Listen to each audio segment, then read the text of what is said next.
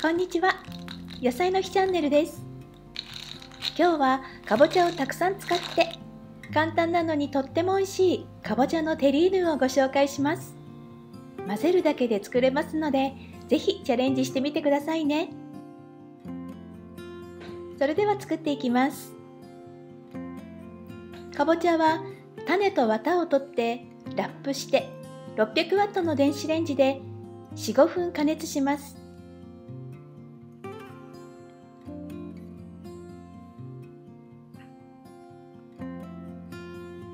皮を取り除いて 200g になるように測ります。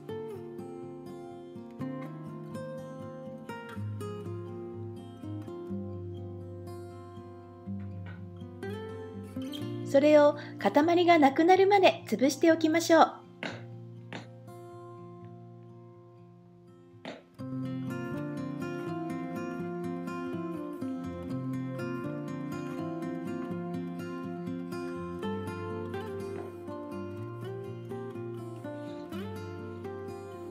ボウルにチョコレートとバターを入れて湯煎をして溶かします。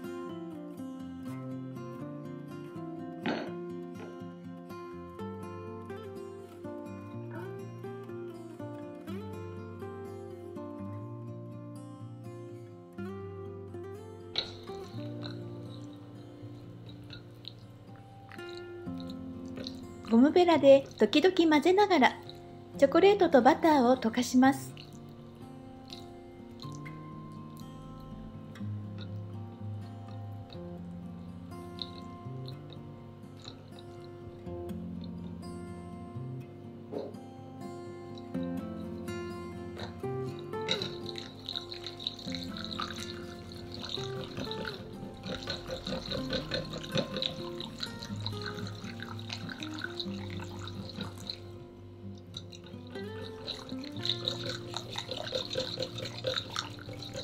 しっかり溶けたら湯煎のまま少し保温しておきます。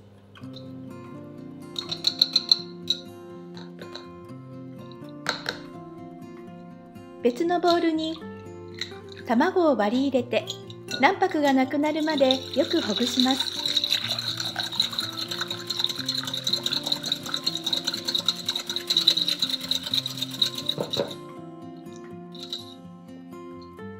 そこにかぼちゃのペーストを加えてよく混ぜます。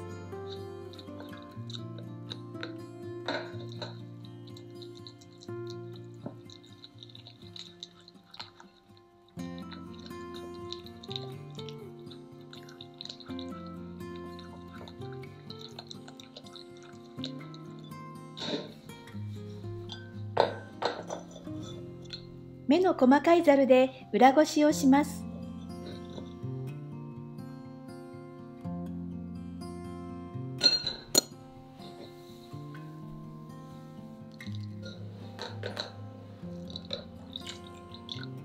それをチョコレートとバターのボウルに加えていきます。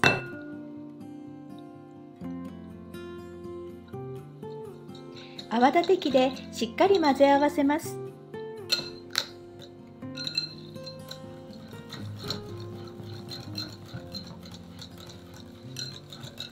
混ぜる手が少し重く感じてきたら混ぜ終わりです。オーブンペーパーを敷いた型に流し入れます。少し高い位置から流し入れると空気が入りにくくなります。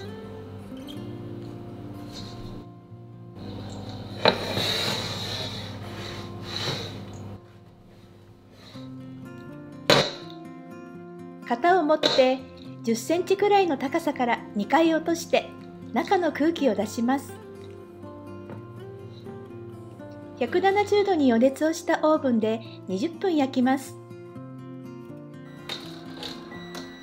表面が少し膨らんできたら取り出します。焼き上がりでは中心は固まっていませんが冷やすと固まりますので心配しないでください。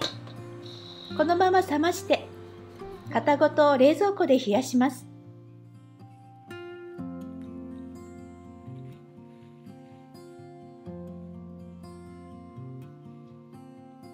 しっかり冷えたら型から出して切り分けます。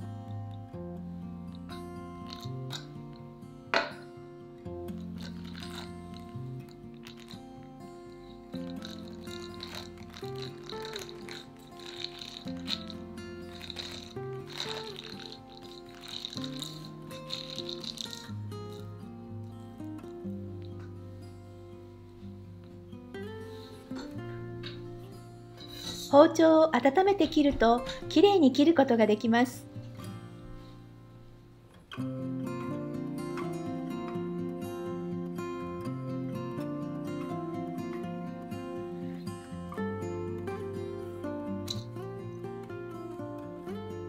保存は冷蔵庫で1週間ほど美味しく召し上がっていただけますし冷凍も可能です。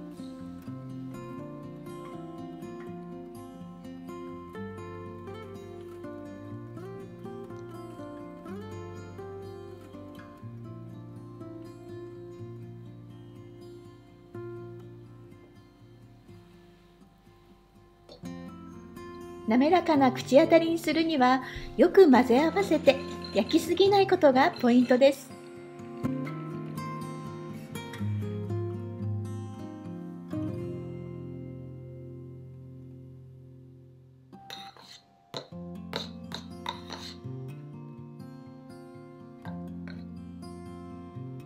ホイップクリームやアイスクリームを添えるとさらに美味しくなります。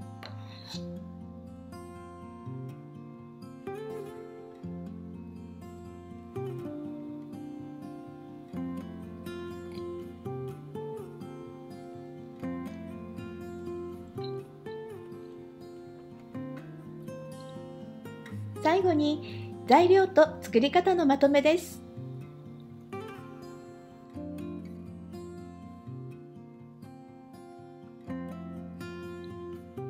かぼちゃは柔らかく加熱して皮を取り除く。ホワイトチョコレートとバターを湯煎して溶かす。別のボウルに卵を割りほぐしかぼちゃを加えて裏ごしする。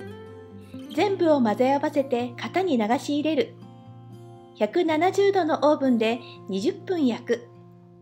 粗熱をとって冷蔵庫で冷やして完成です。